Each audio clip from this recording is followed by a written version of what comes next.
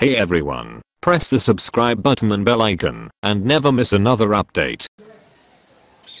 আসসালামু আলাইকুম আমি রাজ্জাক বিশেষ নন্দীপাড়া বাংলাদেশ স্নেক বানাম প্রজেক্টের পক্ষ থেকে আপনাদের স্বাগত জানাচ্ছি আজকের যে আমাদের নূতন একটা এপিসোড আপনাদেরকে দেখাচ্ছি যেটা হলো আমাদের এখানে দেখেন অসংখ্য ঔষধি গাছ যে এবং এই এই যে করমচা ফল এই ফলগুলো সাধারণত আমরা খেয়ে থাকি এবং বিভিন্ন ঔষধও ব্যবহার করে দেখেন, আমরা মূলত এটাকে বেড়া হিসেবে ব্যবহার করছি এবং আমাদের খাদ্য যে ফলটা আমরা খাবার হিসেবে ব্যবহার করি। এবং আপনাদেরকে অন্য একটা আমরা যে প্রজাতি, একটা ঔষধি ফল এবং এর গুণগত মান সম্পর্কে আমি কিছু আপনাদেরকে ধারণা দেব। আসেন, সেখানে যাচ্ছি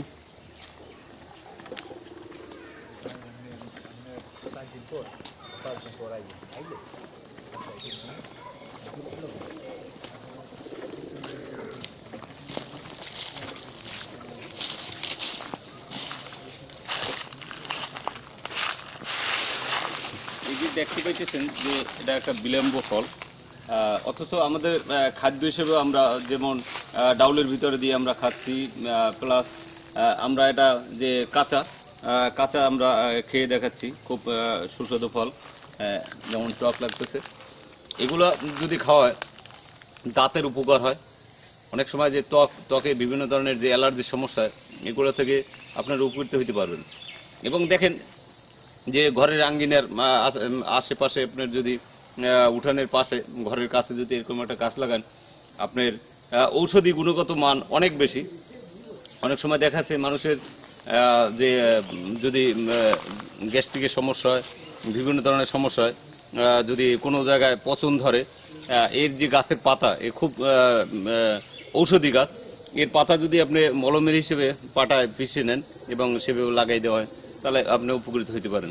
অনেক সময় দেখা যায় অনেক জায়গায় ত্বক শুকিয়ে যায় সেখানে যদি আপনি ব্যবহার করেন এটাকে ঔষধি হিসেবে আপনি ব্যবহার করতে পারেন। এবং এটাকে ডাউলের সাথে আপনি টক হিসেবে যদি খাইতে চান খাইতে পারেন। এবং কাঁচা এটাকে খাইতে পারেন। ও আরেকটা ব্যাপার রাজ্জাক ভাই এই এই ফল সম্পর্কে আমি যেটুকু জানি উইকিমিডিয়াতে আছে এই ইউটিউব ইন্টারনেটে যে এই ফলের রস মানে পাতার রস যদি মাথায় দেওয়া হয় তাহলে চুল ঘন এবং খুশকি দূর হয় এবং চুল চুল পড়া ওঠে। যেহেতু লিটুদা আপনি বলছেন আসলে এটা আমি আমি ইন্টারনেটে ঘাইটে দেখছি এই বিলম্বী ফল এবং যে আপনাদের ভিডিওর নিচে লেখা আছে কি কি এর উপকারিতা?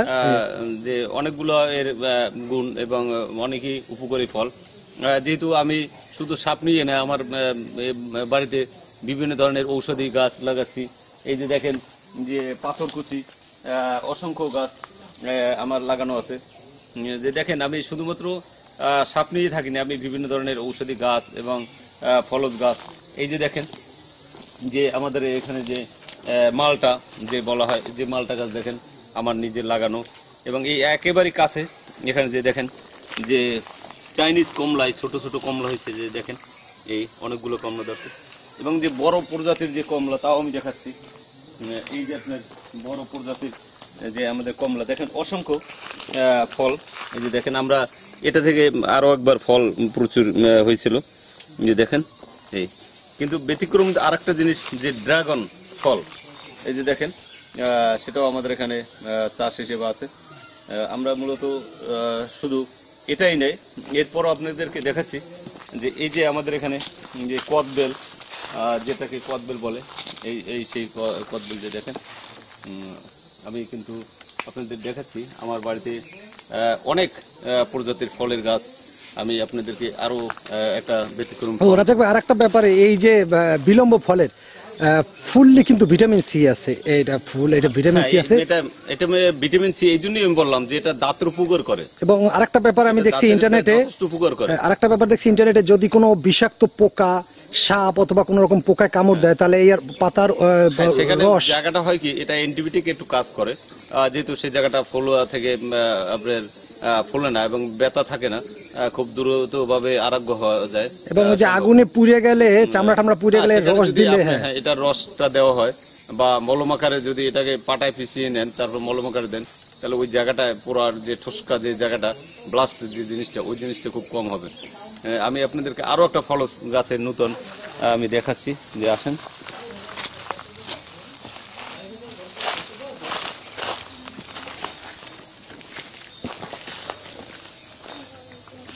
কিন্তু এই যে দেখেন, আমাদের এখানে এটা এটা কিন্তু কাপরাঙ্গা ফল বলে, যে দেখেন।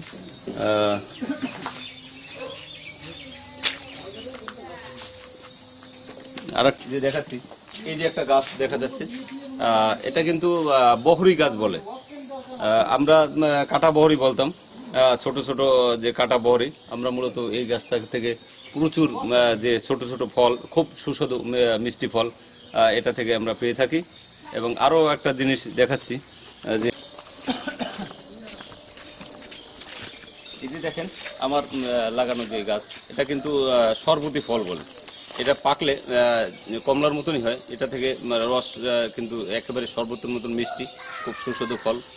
অসংখ্য ফল ধরে। এটা থেকে অসংখ্য ফল পাওয়া যায়। আমরা আপনাদেরকে আরও ব্যতিক্রম কিছু গাছ দেখাচ্ছি, যেগুলো অ্যাভেলেবল দেখা যাচ্ছে না।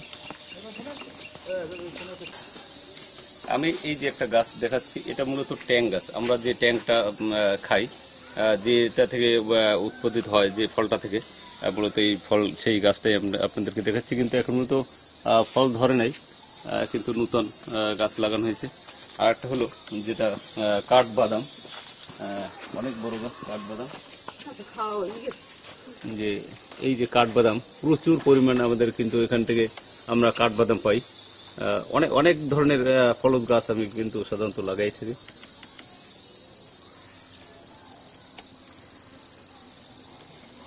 এটা কিন্তু যে আম্বুল গাছ বলে এই যে ছোট গাছ, কিন্তু আম্বুল গাছ আমাদের বড় যে গাছ আছে, সেগুলো দেখাচ্ছি।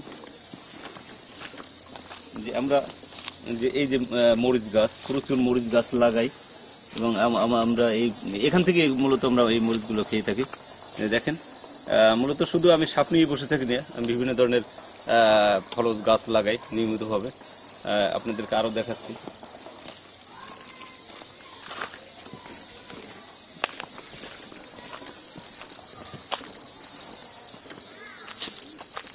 যেটা হলো কাটা বহরি বলি আমরা যেটাকে। নিয়মিত কাটা বহরি এই যে অনেক আহ, গুলো কাটা আছে। এর ছোট ছোট ফল কিন্তু খুব সুস্বাদু ফল।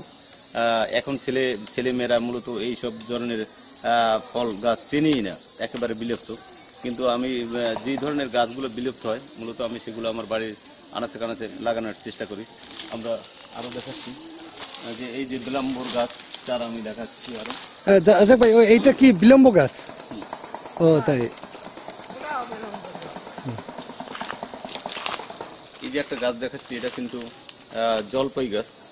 এটাও কিন্তু টক জাতীয় জলপাই গাছ। অনেকেই জলপাই ভালো পছন্দ করে। দেখেন, আমি আমার লাগানো গাছ। এই যে দেখেন জাম্বুরো গাছ। কিন্তু আমার বাড়িতে প্রায় আমি বিভিন্ন ধরনের ফলজ গাছ যেখানে যেটা পাই, লাগানোর চেষ্টা করি। আমি আরও দেখাচ্ছি আপনাদের যে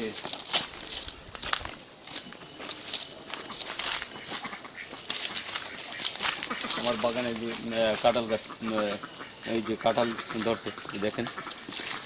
এগুলো আমার নিজ হাতে লাগানো কাঁঠাল ধরছে। আমরা মূলত অধিকাংশ আমাদের বাড়ি থেকেই যে ফলগুলো হয়, সেগুলো নিজেরাই খাই। কিন্তু বাজারজাত আমাদের করতে হয় না। দেখাচ্ছি।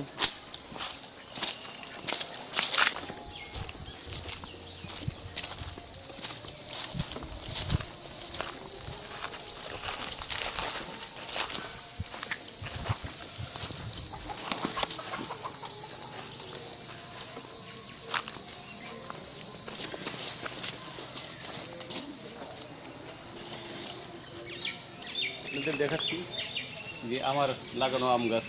যে দেখেন কি সুন্দর আম। আসলে যদি আমরা গাছ লাগাই, পরিবেশেরও ভারসাম্য রক্ষা হয় এবং গাছ থেকে আমরা প্রচুর অক্সিজেন পাই, সেটা আমাদের স্বাস্থ্যের জন্য উপকারী। যে কুমড়া চাষ এবং বিভিন্ন ধরনের ফল ফুলের গাছ লাগানো আছে। যে দেখেন এই যে জায়গা, আমি কিছু জায়গায় মরিচের চাষ করেছি এই দেখেন, আমি দেখাচ্ছি আপনাদেরকে। যে আমাদের এখানে কুমড়ো হয়েছে।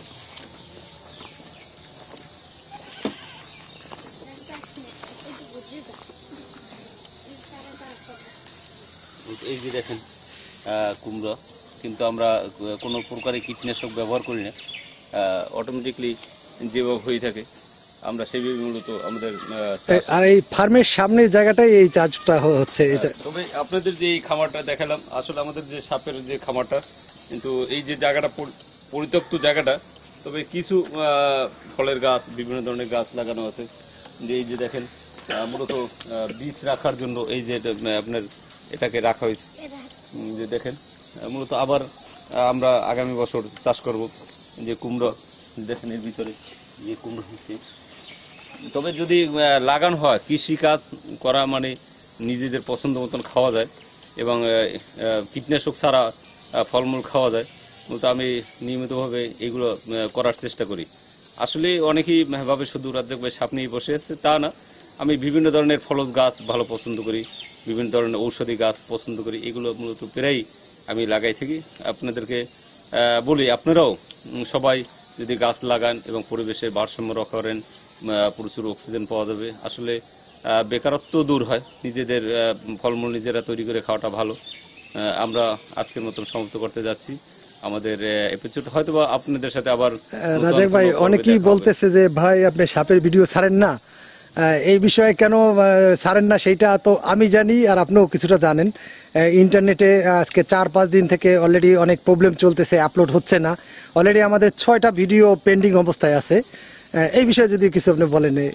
ধন্যবাদ লিটুদা। আসলে আমাদের দেশে উম, এখনও ইন্টারনেটের যে সার্ভিসটা এখনও আহ, যেহেতু গভর্নমেন্ট থেকে দ্রুতই কাজ করতেছে, কিন্তু এখন পর্যন্ত সব জায়গায় সংযোগ দেওয়াও হয়নি ক্লিয়ার সেক্ষেত্রে আমাদের পটুয়াখালী জেলায় ঢাকাতে ক্লিয়ার ইন্টারনেট ব্যবহারটা খুব ভালো আছে।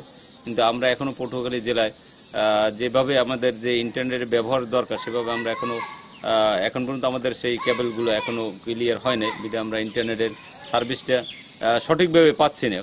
ভিডিও আমরা যে ভিডিওগুলো নিয়মিতভাবে আমরা ছাড়তে পারতেছি না। অলরেডি ছয়টা ভিডিও আমাদের, বা আহ, হ্যাঁ, ছয় থেকে ছয়টা সাতটা ভিডিও পেন্ডিং অবস্থায় হ্যাঁ। ছয় থেকে সাতটা ভিডিও অলরেডি কমপ্লিট করা আছে এডিট করা আছে এবং আমরা এটা আপনাদের ছাড়তে পারতেছি না নেটের সমস্যার কারণে। অবশ্যই আমরা একের পর এক আপনাদেরকে এই ভিডিওগুলো দিতেছি এবং আপনারা যদি বিভিন্ন ফলজ গাছ বা ঔষধ গাছ সম্পর্কে জানতে চান তাহলে আপনারা ফোন করতে পারেন zero one seven double six seven three six two zero two এই নম্বরে। বাংলাদেশের স্নেক বানাম Nandipara Patuakhali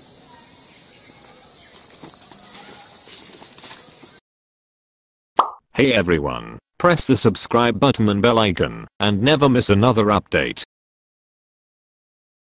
Hey everyone, press the subscribe button and bell icon, and never miss another update.